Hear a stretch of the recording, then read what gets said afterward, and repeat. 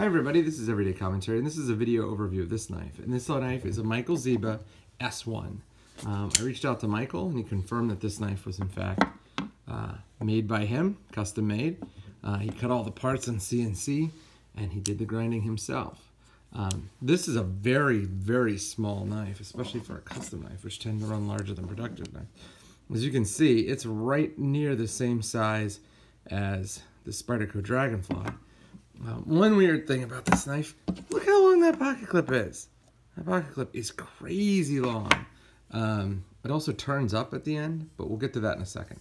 So let me go through and talk a little bit about what the knife is. So as you can tell, this knife is a frame lock flipper. Uh, it has a compound grind, so there's a uh, like a convex grind out here, and then a really, really thin hollow grind here. You can see this knife also has a bit of a harpoon tip, which I'm not thrilled about. I don't really care. I mean, I guess it looks more aggressive, but I don't really buy knives for that reason.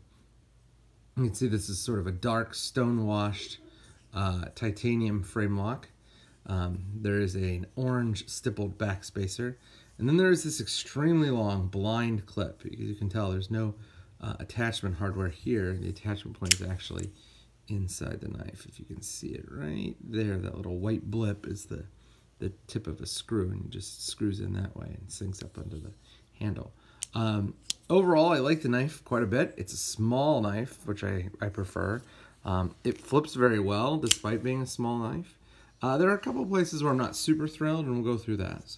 Um, so the first thing you can tell is that unlike a lot of knives that are frame lock flippers, this knife is just a jam it in kind of dislodge. So you jam your finger in and it's just hope you grab something and push it over. Now you can compare that with something like this knife, which is uh, the Master Gent. You can see there's a little bit of a, a, a, little bit of the other side sticking out there, and it makes it much easier to dis disengage the lock. Uh, a couple other things that I'm not super thrilled about. Um, the not only is the clip really long, but the clip is really pointy, and it's that point right there that just creates a crazy hot spot because it's right under where your index finger went. So if you have your index finger in the index notch, it's going to hit the fat pad on this first digit here all the time. And so if you're doing some some work, you know, and I, I, I like that that that uh, harpoon for that, you're going to get a hot spot there, but you're also going to get a hot spot right here. As you can see, this is a really, really sharp clip, uh, really sharp tip on the flipper tab. And you want to compare that to another flipper tab, look at that one. That is how you do it. Um, and so that is tough. These two things together are really tough. You kind of have to lace your finger in between them. But even then, you're going to almost always hit it. Um, so those three points, literally two points here, one and two, and then the third metaphorical point is the fact that this is a little more difficult to disengage than it needs to be. Um, I like the look of the knife. I think the clip is a little too long. You know, what the strange thing is if this clip was a little bit shorter, like if it was right here, it would solve both the, the odd proportions issue and it would get rid of this hot spot by pulling it back out of the way of the path of your index finger. That would be tremendously helpful. Um, the blade steel, in case I didn't mention it, is M390, which is a really good blade steel.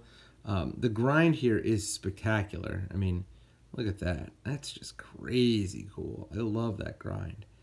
Uh, well, I like the way that grind looks. I'm not sure how easy it's going to be to sharpen. As you can see, there's actually a point here.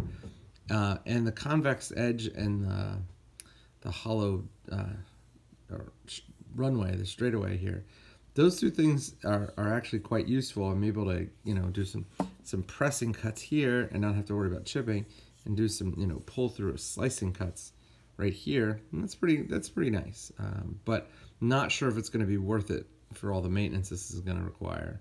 Um, but in terms of pretty, that's that's pretty hard to beat. I mean, that's a gorgeous grind there. Look at that. Just catches the light the right way. There's a really prominent grinder satin grind uh, finish to it, so it just looks good. And you can see it's pretty darn symmetrical. So in terms of execution, this is a very well executed knife. Um, if you don't know, Zieba's uh, he produces knives in Brooklyn, New York, so it's always interesting. One thing that's strange is that you can kind of see the mill marks here on the titanium, And I don't necessarily think that's a bad thing. Kind of looks like a, you know, paintbrush finish. But this is an overview of the Michael Zieba S1. Look for a review on my website.